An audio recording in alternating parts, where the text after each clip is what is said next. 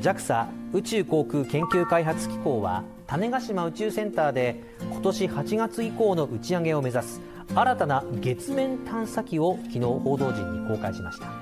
狙った地点にピンポイントでの着陸を目指すもので成功すれば世界初となります。昨日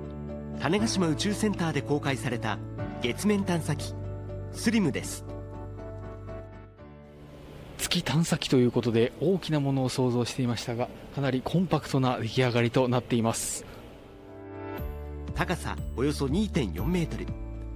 重さは燃料を入れていない状態だと200キロ。これまでの月面探査機より小さくそしてより軽量化されました。スリムで今回行われる実証試験がピンポイントの月面着陸です。従来の月面探査機の着陸技術だと着陸したい地点から数キロから十数キロの誤差が生まれていました。その誤差を100メートルほどに縮めることがスリムを使う目的です。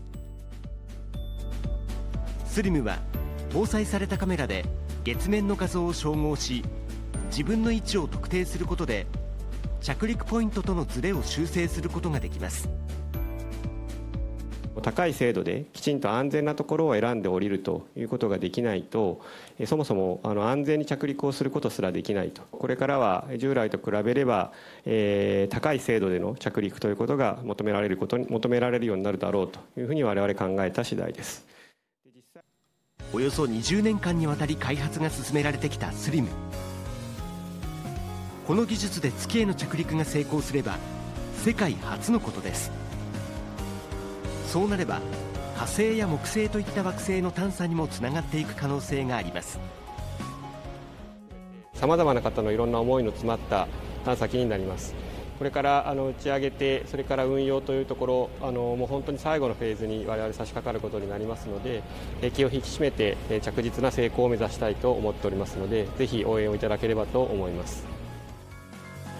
スリムは H2A ロケット47号機に搭載され今年8月以降に打ち上げられる予定でその後4ヶ月から半年かけて月への着陸を目指します。本当にピンポイントで狙ったところに行くことができるというのはさらに月が近くなったような気がしますよね。